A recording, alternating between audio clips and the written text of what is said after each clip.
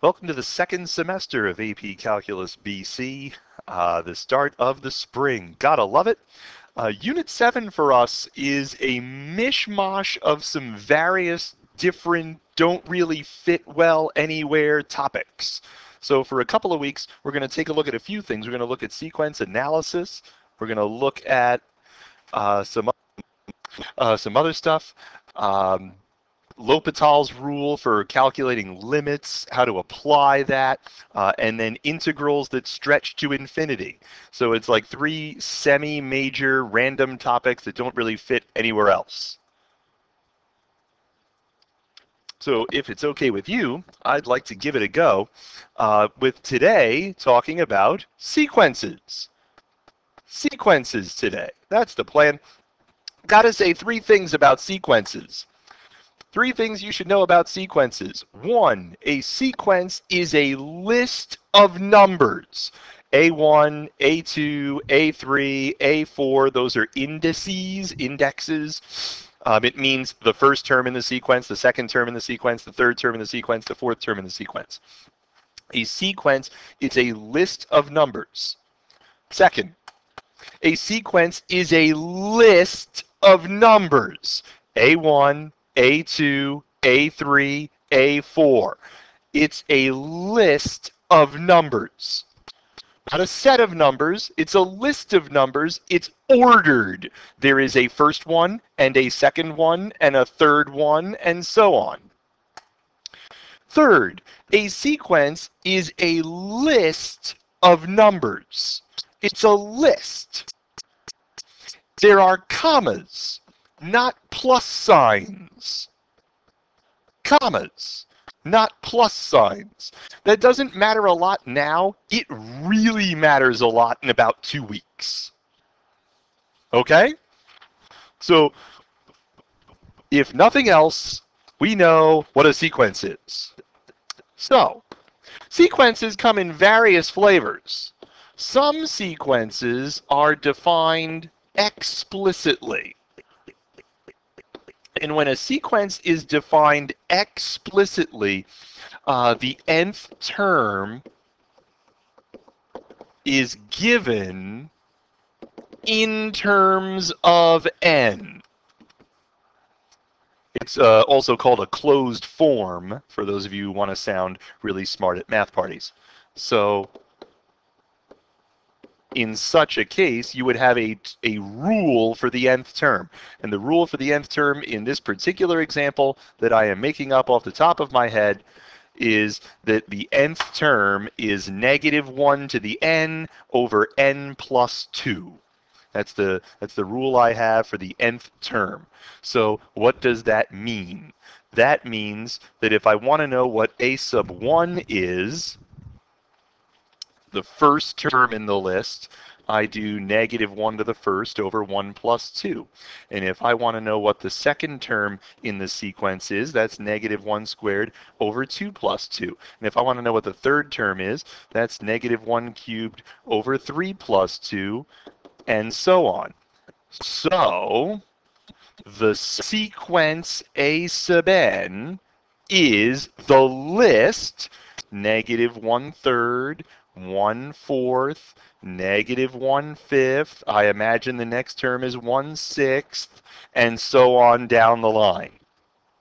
That is the explicitly defined sequence. And explicit sequences are fantastic because if I want to know what the 10,000th term in the sequence is, I just substitute 10,000 for n, and I know what the 10,000th number in the sequence is. Some sequences are what we call recursively defined.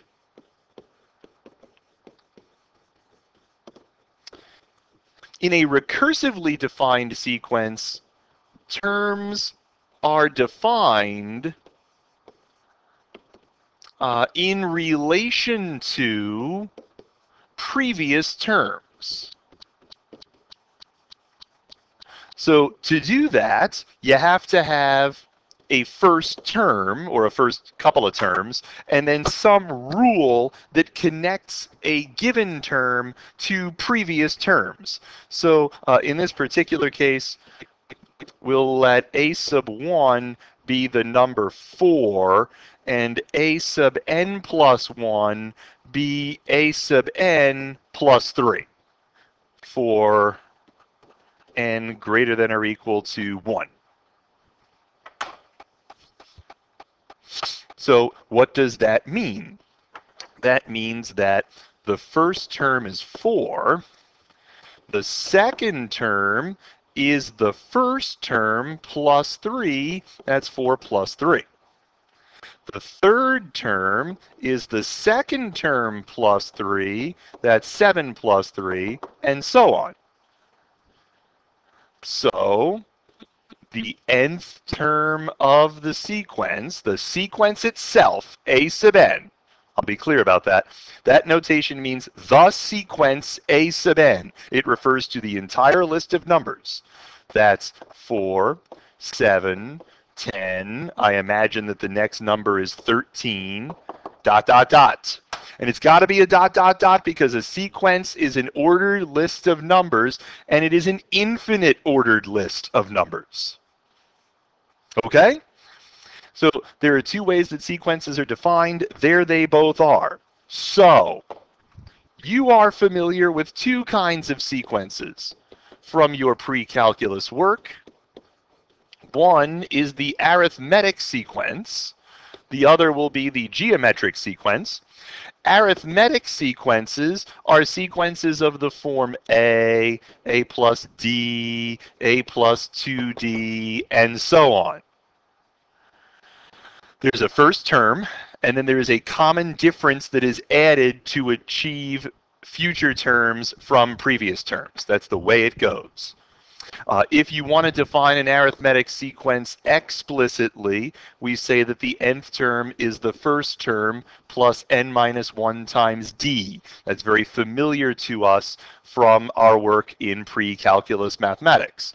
If you want to define it recursively, then the first term is given and the nth n plus 1th term is the nth term plus some number d for n greater than or equal to 1. That's the way arithmetic sequences work. There's a first term, and then you add d every time. So, oh, this would be example 3 given, oh, did I do two? One? I didn't. Sorry, folks.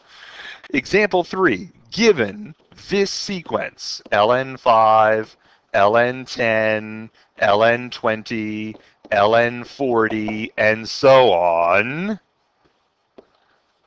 I want to show it is an arithmetic sequence, and I want to find the 10th term.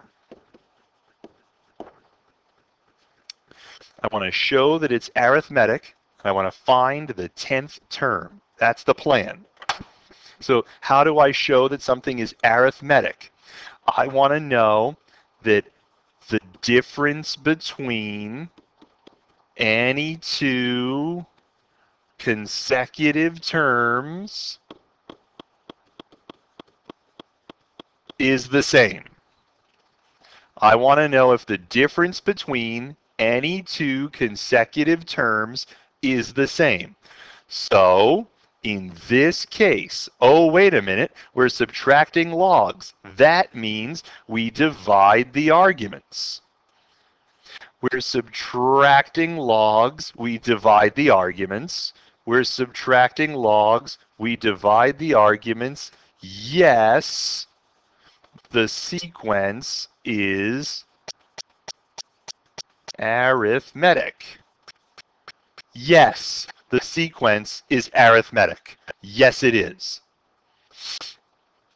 What's the 10th term?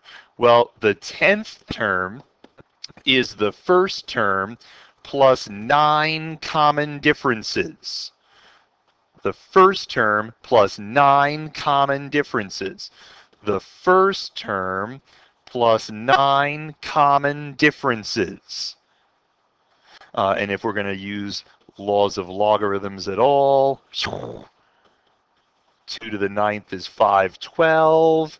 So this is the natural log of 2,000, oh heck, 560.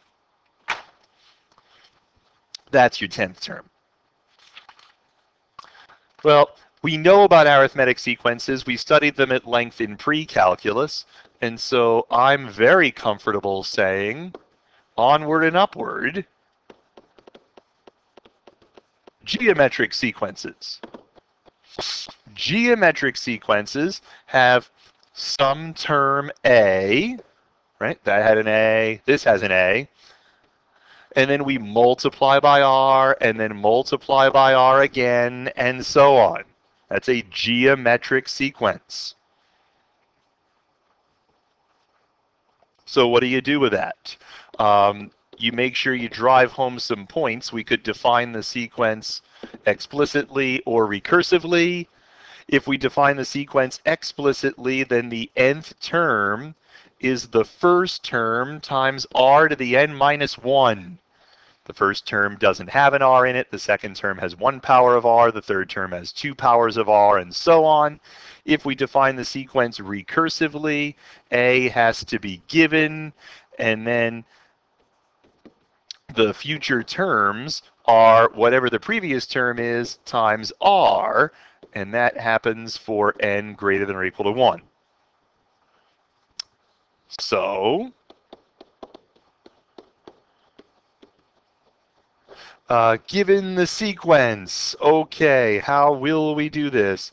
5, negative 15, 45, negative 135, and so on. I want to show that it is geometric, and then I want to find the 10th term. Those are the things I want to do. I want to show the sequence is geometric, then I want to find the 10th term. So how do I know that a sequence is geometric? Well, that's not bad. I want to show that the ratios of consecutive terms are always the same. In an arithmetic sequence, the differences are the same. In a geometric sequence, the ratios are always the same. In this case, negative 3, negative 3, negative 3. Yes, the sequence is geometric. Yes. Yes, yes, yes. So what's the 10th term look like? Well, the 10th term is the first term times r to the ninth. I know what the first term is. I have r to the ninth power, and that's some big number. Whatever that is. How am I doing so far? Good. One more thing. One more thing we should talk about. We should talk about the limit of a sequence because the idea of limit is going to come up big in this unit. The limit of a sequence is the limit of its nth term as n approaches infinity. So if we want to talk about the limit of a sequence, we take a look at the limit of its nth term as n approaches infinity. If the sequence has a finite limit, we say that the sequence converges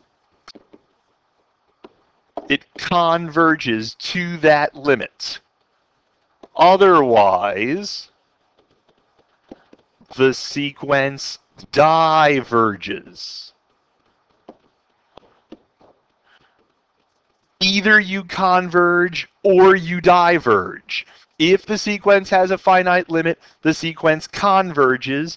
If the sequence does not have a finite limit, the sequence diverges. So, Time to play everybody's favorite game. Do they converge? Never mind. There's an A sub n.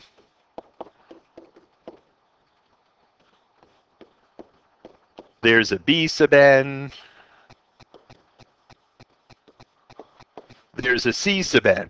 So you want to hit the pause button and you want to ask yourself, self, what is the limit as n approaches infinity of each of those expressions? If I get a number, the answer is yes. If I don't get a number, the answer is no. So that's just something to think about. Hit the pause button and do that. No, really, hit the pause button. Okay, so let's assume that you did that. A sub n does A sub n converge? You betcha, because the limit is 3 as n gets large. The limit as n approaches infinity of A sub n